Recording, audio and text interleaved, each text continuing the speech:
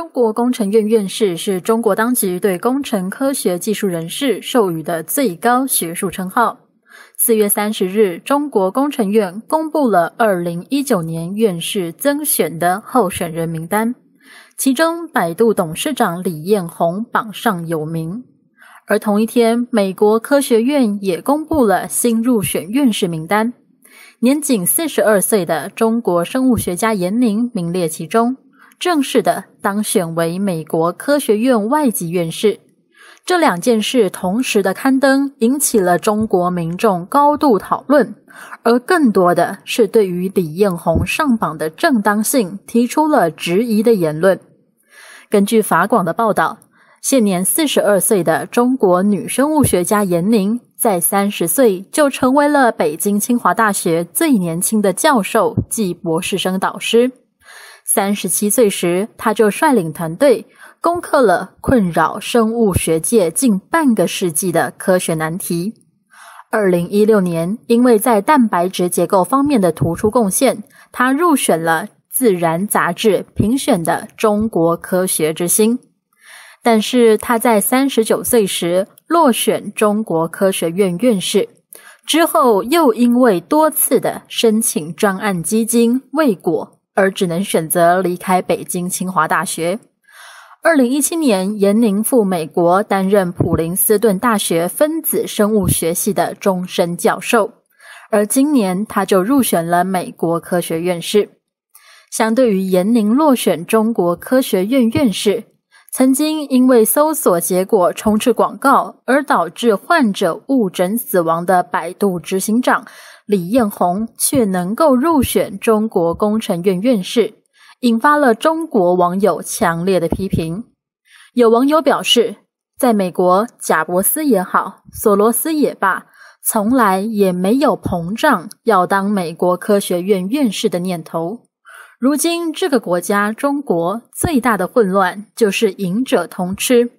不仅李彦宏、马云等商人发了财就不知道自己姓什么了，什么事都想插一脚。嚣张到想要用金钱碾压一切，文人已经失去了争智于孤的操守，而纷纷加入了争名于朝或者争利于世。有些知识人甚至要名利双收。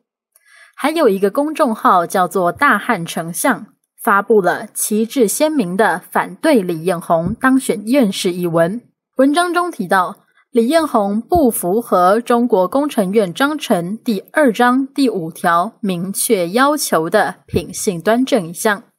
因为百度是一家道德低下的企业，曾经坑害无数的患者，而且百度从来没有认真的道歉。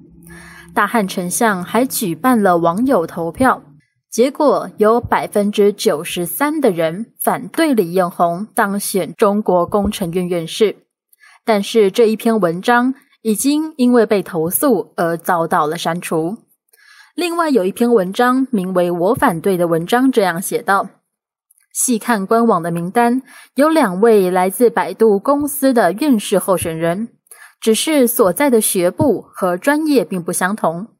李彦宏位列工程管理学部，专业为新兴交叉领域工程技术创新管理。那么，我们就谈谈创新和管理。